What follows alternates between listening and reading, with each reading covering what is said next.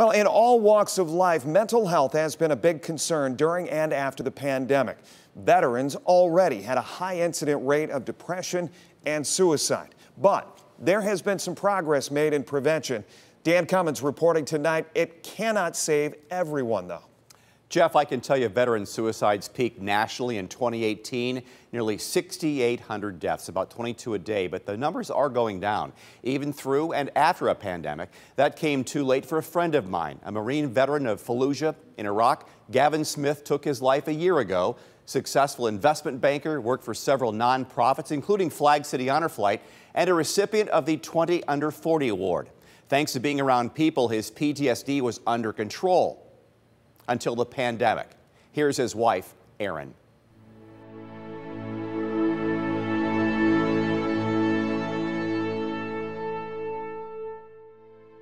And when COVID happened and all those events stopped, that was a huge change for him mentally. Um, not being able to be at all those things and giving his time, that's how he dealt with things.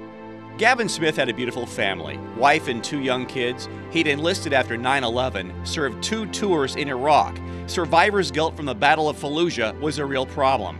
The fall of 2020, the depression got worse on a trip back east.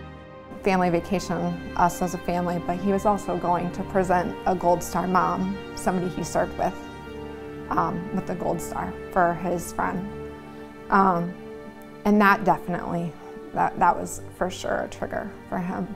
I think it was something he needed to do internally, um, but I don't think he was ready with what emotions would come from that. November 2021, Fallujah claimed another victim. Gaven Smith was gone at the age of 39. The VA knew COVID would be a problem for veterans, so they were forced to adapt, use different tools like reaching out online, doing interventions earlier in the process, teach veterans to manage their symptoms, get support and treatment, and it seems to be working. Patrick Cotton, who treats for mental health at the VA, retired military, are just different from civilians. Um, it's kind of old habit to, you know, do the mission, complete your objective, follow the orders, get things done. Um, don't ask for help. You know, you don't ask for help. You suck it up. You walk it off. You get the job done. And it can be a little trickier when in civilian life, maybe it's not clear what's the next step. What is my objective? Other nonprofits have helped. Hooves uses equine therapy to teach veterans and first responders to handle stress.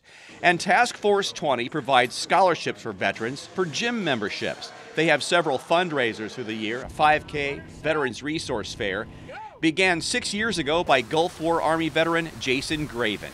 The isolation that a lot of veterans face when they get out of the military and not having that camaraderie anymore can be very, very difficult. So getting out back into the community, off the couch, away from drugs and alcohol, ultimately is, you know, it's life-changing and life-saving in many cases.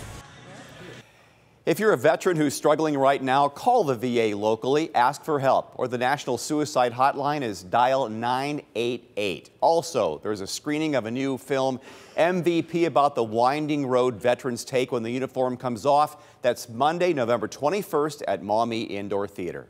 Reporting tonight, I'm Dan Cummins.